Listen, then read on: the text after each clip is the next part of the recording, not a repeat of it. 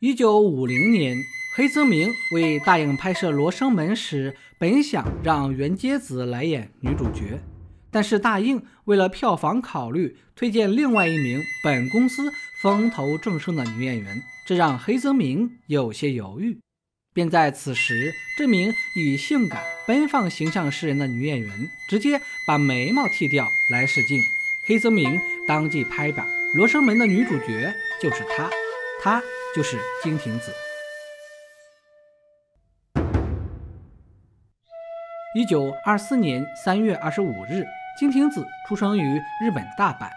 五岁时，他的父亲石田治三郎去往巴西后，渺无音讯，再也没有回来。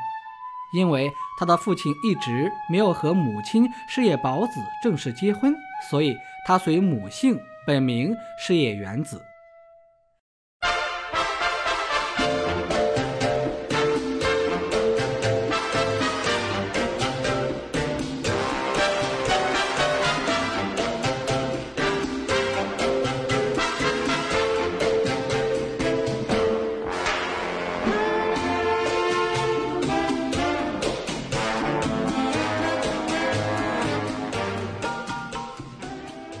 小学毕业后，金亭子进入大阪松竹少女歌剧团，后来正式成为舞蹈演员。在整个松竹歌剧团生涯，她只在1944年参演了井上金太郎导演的《推翻天狗》和沟口健二导演的《团十郎三代》。1949年初，她进入大映电影公司，正式开始演员生涯。最初。大雁给她的定位是非常西化的性感女星，饰演的大多是妖妇之类的角色。在拍完四部电影之后，金亭子迎来自己的成名之作《痴人之爱》。《痴人之爱》改编自古崎润一郎的同名原著小说，讲述单身大龄电工收养一名少女，本想把她调教成合格的妻子。结果反被调教，沦为少女美丽肉体的奴隶，任其摆布。这是一段非常日式的虐恋。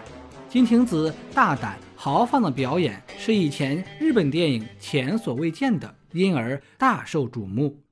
紧接着，金亭子就主演了前文提到的《罗生门》。由于《罗生门》意外在国外获得大奖。大英社长永田雅一雄心勃勃，开始进军国外市场，先后策划了多部大制作。这其中，沟口健二导演的《雨月物语》，伊利真之助导演的《地狱门》接连在国外电影节上获奖。这三部电影的女主角都是金青子，使得她成为日本电影在国际舞台上一颗璀璨的明星。一九五五年。金亭子主演了大映和邵氏的中日合拍片《杨贵妃》。一九五六年，金亭子与马龙白兰度主演了日美合拍电影《秋月茶室》，并获得美国金球奖喜剧音乐类最佳女演员奖提名。金亭子是集性感、演技、神秘感于一身的伟大演员，曾数次上榜。日本十大女演员，但是和银幕形象相比，她本人是一个性格温和、沉默寡言、十分守旧和缺乏朋友的女人。她曾经和大英社长永田雅一有一段绯闻，但她终生独身，将自己的全部都奉献给演艺事业。二零一九年五月十二日，金听子因病逝世，享年九十五岁。やるわね明智。ねえ皆さん明智って素晴らしいと思いません？